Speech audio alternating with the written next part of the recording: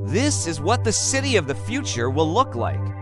As a kid, I used to dream about cities of the future with flying cars and robots everywhere. But now, as an architect, I have a different vision. It will have less cars and more trees. The buildings will be made out of wood and other natural materials.